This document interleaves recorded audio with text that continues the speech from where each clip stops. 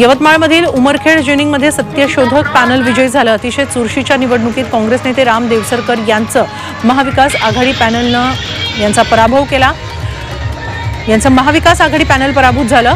काँग्रेसमध्ये उघड फूट पडून नेत्यांनी भाजप नेतृत्वाशी हात मिळवणी केली. यात सत्यशोधक पॅनलला नऊ जागा मिळाल्या तर राम देवसरकर यांच्या पॅनलला सात जागा मिळाल्या. स्वाभिमानी रिपब्लिक पक्षानं येवला तहसील कार्यालयावर जन आक्रोश मोर्चा काढला. कांद्याला जाहीर केलेले साडेतीनशे रुपये अनुदान तात्काळ द्यावं भोगवटा वर्ग दोनच्या जमिनीवर पीक कर्ज उपलब्ध करून द्यावं नवीन रेशन कार्डवर धान्य तात्काळ द्यावं या आणि इतर मागण्यांसाठी आंदोलन झालं.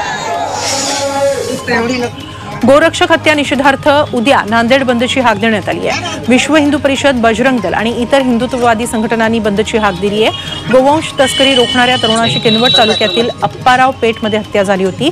या घटनेनंतर हिंदुत्ववादी संघटना आक्रमक झाल्या वाशिमच्या रिसोड रोज नवे डाएट.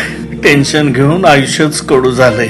नम्मा होमिओपॅथीची औषधं गोड आणि मधुमेहाला पण देतात तोड. नम्मा होमिओपॅथी आरोग्य संजीवनी. शहराला पाणी पुरवठा करणाऱ्या जलवाहिनीला ढोरखेडा गावाजवळ गळती लागल्यानं लाखो लिटर पाणी वाया जात आहे. दुसरीकडे शहराला पाच दिवसाआड पाणी पुरवठा होतोय. अशात पाण्याच्या नाहक नासाडीमुळे नागरिक कमालीचे नाराज आहेत. तातडीनं पाईपलाईन दुरुस्ती करून पाण्याची नासाडी थांबवण्याची मागणी करण्यात आली आहे. यवतमाळच्या दिग्रस नगर परिषदेवर ठाकरे गटाने खोके घ्या पाणी द्या खोके घ्या कचरा उचला अशा घोषणा देत मोर्चा काढला. दिग्रस शहराला अशुद्ध पाणी पुरवठा होतोय तसंच ठिकठिकाणी कचऱ्याचे ढिगारे साचलेत. त्यामुळे आरोग्याचा प्रश्न निर्माण झालाय. तर कंत्राटदारांकडून कामं करून घेतली जात नसल्याचा आरोप ठाकरे गटानं केलाय. धुळे शहरातील विस्कळीत पाणी पुरवठ्याविरोधात हंडा मोर्चा आंदोलन करण्यात आलं. यावेळी पालिका सत्ताधारी भाजप आणि प्रशासनाविरोधात घोषणाबाजी झाली.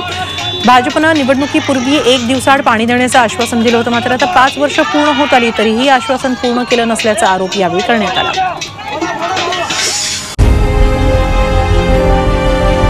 विकासाचा ध्यास म्हणजे